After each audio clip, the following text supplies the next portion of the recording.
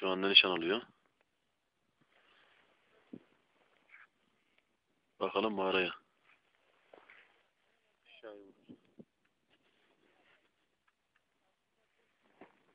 Oğlum konuşma lan. Ne? Fenerbahçe almıştım. Evet. Evet. Anasını siktik var ya. Öttürdük. Te tepelerine yıktık. Harbiden de yıktık yani. Helal olsun. Evet şu anda tam karşıda kayalıkların altında iki tane leş kuzu gibi yatıyor orada. Canavar gibi. Koçlar gibi. Üst tarafta kayalıkta tabur komutanı ve saz arkadaşları var arkadaşlar. Önümüzdeki mağaranın üstünde Ömer Başçavuş, özel timi ve kaçtı? Süleyman mıydı? Mesut. Mesut var. Joak timi. Köprünün adı neydi? lan? Aşağıda Martı mıydı?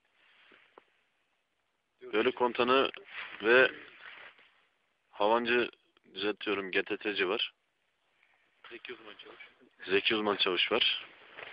Evet şu anda tepede alay komutanı var. Fazla çeviremiyorum o tarafa. Ne olur ne olmaz. Burada da arkadaşlarım var. İşte bir kişisi var. Selçuk Astemen'im var. Petirgel. Allah'ın Petirgel'isi var. Keşif yaparken ben. Evet. Keşif yaparken Ahmet Astemen var. Ee, GTTC atıyor. Ahmet Astemen'in de keşif yapıyor. Aynı şekilde biraz daha sola. Evet. Alay, alay komutanı GTTC'yi takdir ediyor. Gerçekten bu arada hakkını yememek lazım. Güzel atış yapıyor arkadaşlar. Ben e, dürbün istiyorum. Onun süresi Kolda doldu şey diyorum. vurmuş ya. Onun süresi doldu diyorum be. Hacı. Ve? Ön tarafı vurmuş. Hmm. Mağaranın giriş Evet. yolunu vurmuş. Kobralar bir bok yapamadı arkadaşlar. Bizim GTT'cimiz mağarayı gerçekten tepelerine yıkıyor. Nerede? Kara girdi lan.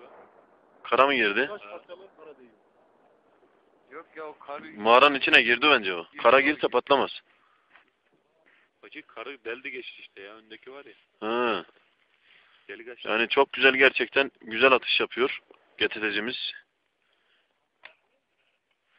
Evet.